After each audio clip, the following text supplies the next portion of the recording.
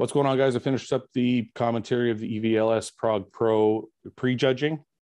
I think it went well. I do want to say I apologize to anybody if it seemed a little less formal than I wanted to be. I kind of devolved into podcast form and I maybe loosened up a little bit more than I wanted to. So it's going to take some a little bit of practice for me because I'm not used to a formal setting of a show. So uh, I think I'll get better as I go.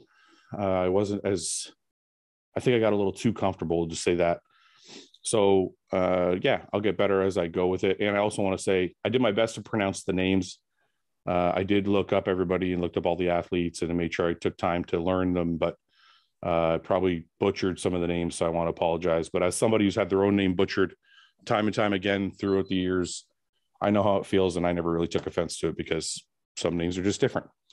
Uh, that being said, the show was really good. The I'm just going to cover it briefly. The 12 212 was good. It was basically a two man horse race with uh, Ole Kier, Kirvi and uh, Ashkanani uh, going head to head.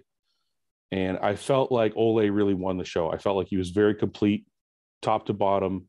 Legs were outstanding. Conditioning was outstanding.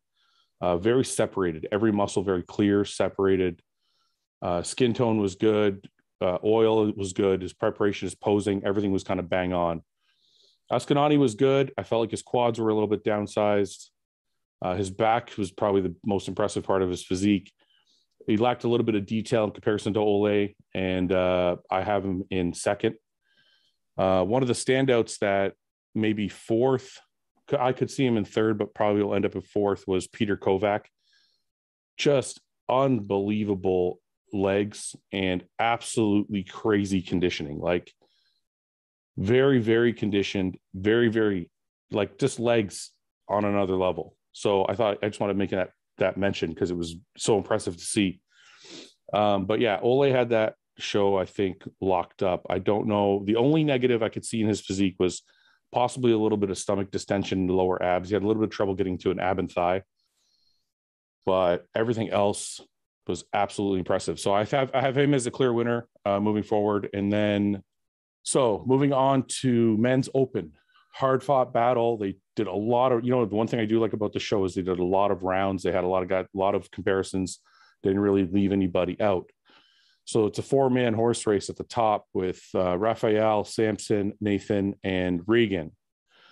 And it's a really tough call. I have to be honest. I, I am going to say before the show, I believed Nathan would walk away with it. But after seeing them posing together, Nathan is definitely the sharpest of the bunch. And I think if we're going to take conditioning, muscularity, everything all into condition, I all into all into factor, I think, which we're supposed to. I do think Nathan should win.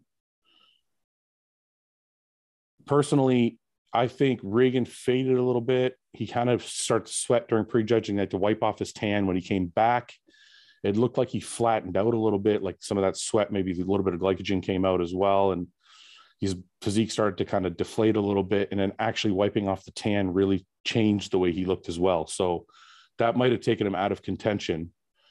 Could have possibly slid him to third because I believe Samson looked really good. Now, Samson was sweating like crazy, which made him look a little softer, but doesn't have a tan issue, obviously, because he's black. And he, even though sweating, still looked really good. And he actually looked like his condition was very good. It might have been the best of the year. When he first came out, I was blown away. His legs looked very dry. And uh, I could see Samson second, maybe even challenging first. I don't know. You know, they really did a lot of like comparisons and a lot of like tossing around uh, different positions. So I don't know. They didn't really give away who they have first or second, third, fourth. The way I have it is the way I have it is it's probably going to go Nathan, Samson, Regan, Raphael. That's probably how it's going to go. I could see it possibly being Samson, Nathan, Regan, Raphael. I do have Raphael in fourth for sure. I'm pretty sure I have Nathan in first. The other two places could be jostled around, but if any of the four are jostled around, uh, I don't think anybody would complain too much. They all look very, very good.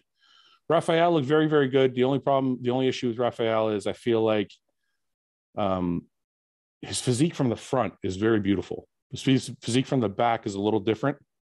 His back does not match up, like his back itself, not the entire back. His back itself does not match up with the front. He needs a little bit more lat width, a little bit more thickness across the top. Um, Samson, like I said, condition was very good.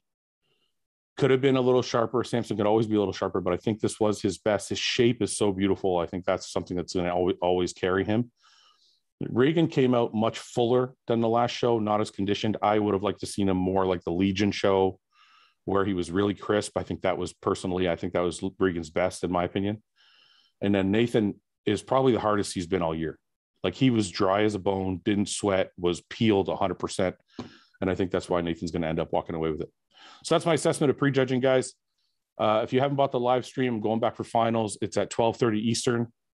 Um, me and Melissa are going to be doing finals. Possibly Ian might jump on with us, and we're going to do the commentary. And I promise you, this time uh, we'll be a little bit more professional. Well, I will be a little bit more professional about it. Melissa was fine. Um, but thank you guys for watching, and until next time, live hosstile.